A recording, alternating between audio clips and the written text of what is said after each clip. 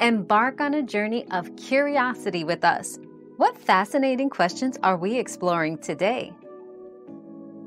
Dehydrating candy can be challenging because most candies contain high sugar content and are often hygroscopic, meaning they attract and hold water molecules.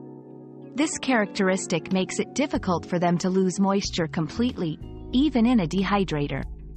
Additionally, the low water activity in candies prevents microbial growth, so dehydration isn't necessary for preservation. For those looking to dehydrate candies for a crispy texture, consider a low-temperature oven method, but monitor closely to avoid melting. Our quest for knowledge never ends. Thanks for being part of today's discovery. Subscribe, like, and share to join us on the next one.